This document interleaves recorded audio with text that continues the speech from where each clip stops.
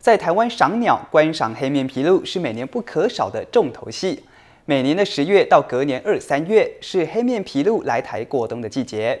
专家观测，二零二年由于没有长期强烈寒流，加上食物来源稳定，来台过冬的黑面琵鹭比往年同期多，大概有一千五百零五只。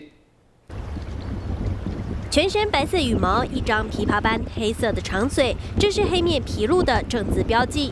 黑皮的长嘴很像中国乐器的琵琶，而有了琵鹭的美名。也因为它的姿态优雅，又被称为黑面天使。为增加黑皮鱼源，台江国家公园管理处进行实验性生态养殖计划。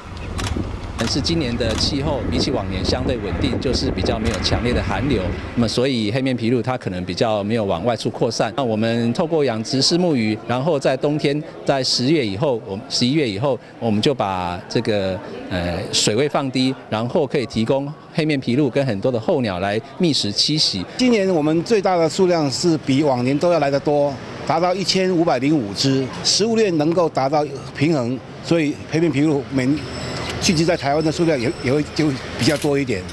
黑面琵鹭分布在亚洲东部温带地区，属于东亚地区的特有鸟种。全球大约有两千六百九十三只黑面琵鹭，百分之五十八会飞来台湾过冬，其中大部分在台南栖息。